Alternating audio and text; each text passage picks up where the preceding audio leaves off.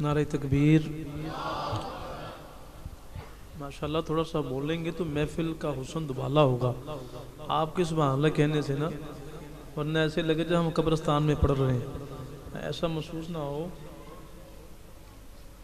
دس minute بڑھا نہیں پانچ منٹ سات منٹ آٹھ منٹ۔ ٹھیک ہے ٹھیک ہے۔ ٹھیک ہے۔ ابھی قاری صاحب تلاوت ہمارے تھے لیکن آپ نے ان کی حوصلہ افزائی نہیں کی ہے۔ جب کوئی پڑھ رہا ہو، جب آپ سبحان اللہ کہتے ہیں نا، تو پڑھنے والا کا حوصلہ بلند ہو جاتا ہے وہ خوش ہو جاتا ہے، اور آپ کو بھی نیکیاں ملتی ہیں، پڑھنے والے کو بھی سواب ملتا ہے پھر اور اچھا پڑھنے کا دل کرتا ہے۔ اس میں کوئی گناہ والی بات نہیں ہے ایک بار کہیں سبحان اللہ۔ اتنا زیادہ مجمع ہے، ماشاءاللہ۔ فرحان بھائی کی جو محنت ہے، وہ کام آ گئی ہے۔ اللہ اس نوجوان کو سلامت رکھے۔ یہ قرآن سے بڑی محبت کرتا ہے۔ انشاءاللہ ہم تو کچھ نہیں دے سکتے، لیکن اللہ اس کا ضرور دیں گے۔ ایک چھوٹی سی آپ کو بات بتاتا ہوں میں۔ قرآن سے محبت کی۔ پہلے ایک بار سبحان اللہ کہیں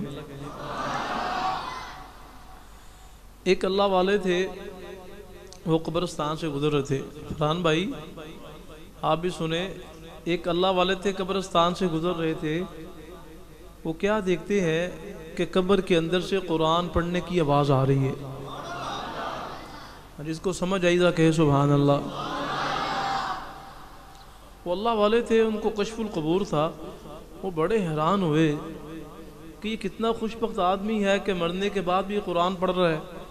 ایک مسلمان کے لیے اس سے بڑی اور میں سمجھتا ہوں کوئی سعادت نہیں ہے کہ ہماری اصل تو آخرت ہی ہے۔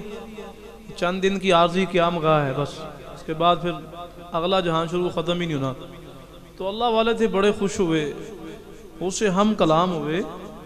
کہنے لگے، اے اللہ کے ولی، یہ تجھے کیسے مقام مل گیا کہ مرنے کے بعد بھی تو قرآن پڑھ رہا ہے؟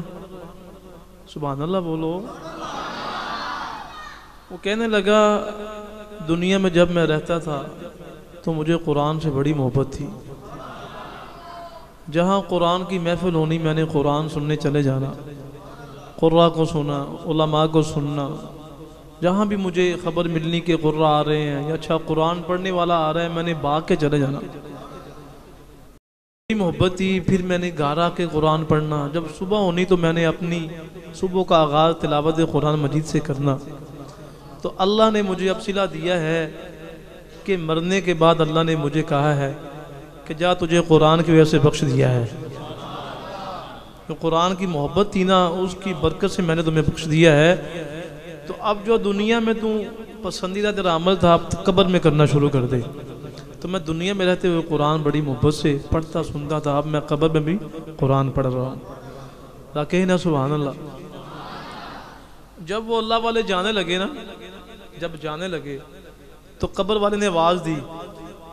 کہنے لگا ہے اللہ کے ولی میری بھی ایک بات سن لیں؟ میری بھی ایک بات سن لیں۔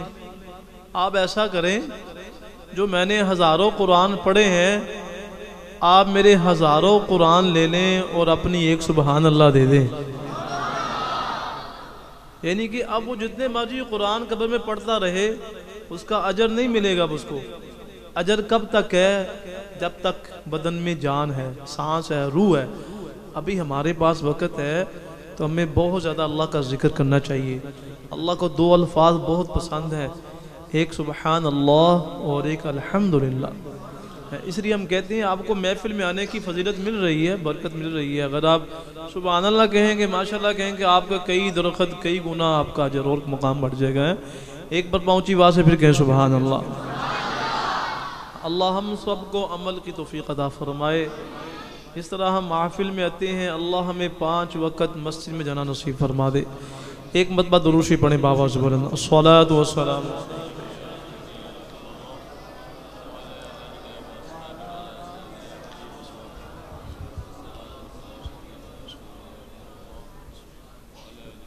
جو مجھے ٹائم دیا ہے فرحان بھائی نے، انشاءاللہ میں کوشش کروں گا، اس سے پہلے اپنی حادث سمیٹ لوں۔ اللہ تعالیٰ میری حاضری کو قبول فرمائے۔